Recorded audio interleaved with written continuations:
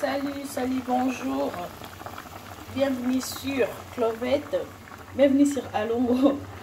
Alongo Beauté Cuisine TV. Comme vous voyez, lelo na cuisine nanga naza na makoso matembele yango oyo yango oyo naza mpe na baepice na nga oyo naotya baepice na biso nyonso tu yango oyo mpona kotya na barecette na biso oyo nyonso na obanda nanu na na makoso makoso il faut natya matungulu poivron na nga poivron na nga vert euh, na euh, poivron jaune poivron rouge Natie matungulu na ngai nyonso tu nasangisi yango esika moko oyo oh, tomate baai na nga naotya kaka nde bomona naotya nyonso tu nyonso tu ekoki mpona kotya na makoso comme vous voyez matungulu surtout hein yango oyo nyonso tu natie vraiment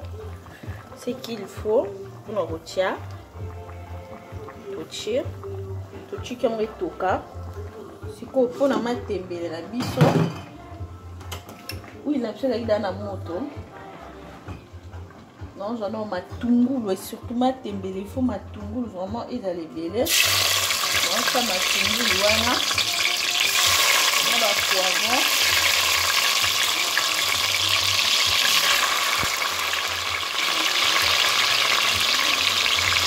osa nao matungulu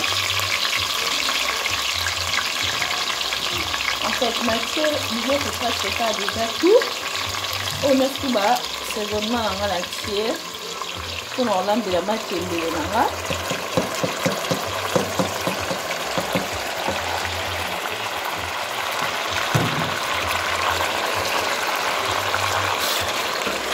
oyo mwasi akoza mpo na kolambela matembele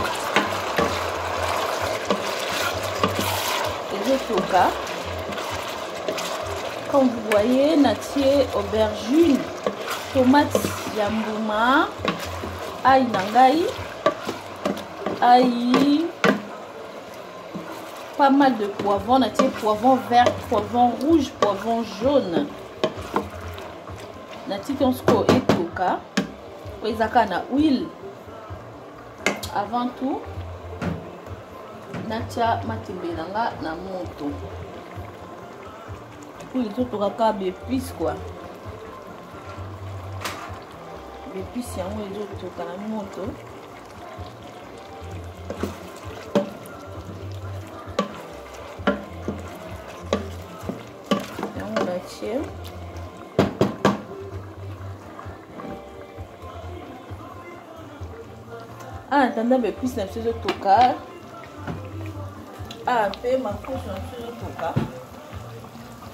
alors nabalisa caméra mpona expliquer très bien en fait nde nalakisi bino na cuisine na ngai ya lelo nasaleli euh, naolamba ngai nini pardon yokanga ngai ositizera feuille de patate douce qui est matembele euh, chez nous au congo euh, avant ezalaki babiloko ya ba, na batribu kaka bandoli yango genre ba, baluba bandoli ya matembele trop mais pour le moment ezalaka su mpona bango kaka te ekoma pour tout le monde oyo oh, alingi alia en tout cas biloko ezala su te mpona baethnique mpona batribu et tout non nous tous tokoma olia matembele tout et tout Mais aujourd'hui, naola mama tembe na nga na makoso na nga. Je vais juste expliquer ndenge nini na sali yango na somba tembe na nga ya mibimba parce que biso awa tosombaka na sombi ya mibimba na sala yango baya nde tendance en Afrique na sali et tout sikoyo la makoso na nga mpe nasombaki na auchan natokisi yango nao nabwaki mai mai ya makoso na ngai na nabwaki après nazwi sikoyo nasokoli yango vraiment très bien na mai nasokoli yango etout faye nabanda na debut mpo bomona mais c'est pas grave nasokoli yango nde nde natie natie yango na moto natie poivant rouge poivron jaune poivron vert natie litungulu na nga ai na nga natie euh, quoi tomate na nga mbuma en tout cas moi je suis vraiment na naturel nga asala pena ba d'épices naturel moi j'achète pas d'épices déjà mixé et tout sikoyo mpo na d'épices ndeti euh, mpo na rajout kua nasalelaka jimbo na nga simple yango na esalelaka kaka nakozwa jimbo na nga moko natya na na nini na nga pardon na makoso na nga ana tanda nini na nge ezotuka natie jimbo na nga très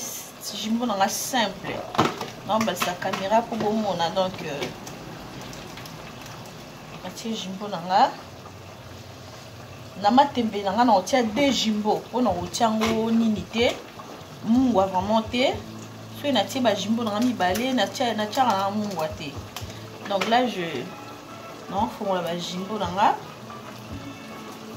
hmm. na nafongoli ba jimbo na nga c'est bien yango oyo mpo na matembele oyo nyonso eya mpo na matembele ba bis oyo nyonso maintenant je vais mettre matembele na nga maboko na nge eza propre eh? namona ntina olata bagan te par exemple soki osala mange na ndako etout natie matembele na nga na kati mpo matembele na nga na pasaki yango nanu natie yango na moto etoki mwa mokie pour éviter euh, un peu de euh, nomo boyebi kaka natie wana sikoyo naobalusa matembele na nga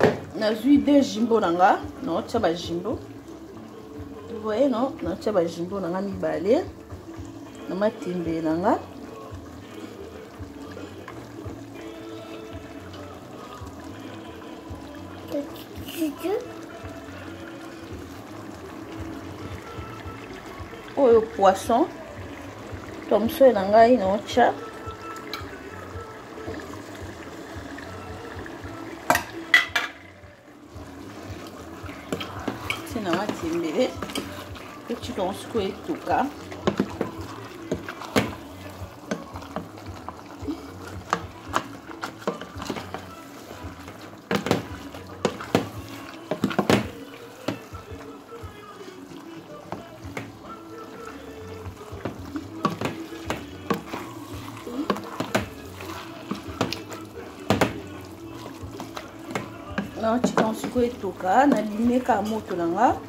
matembe na nga yango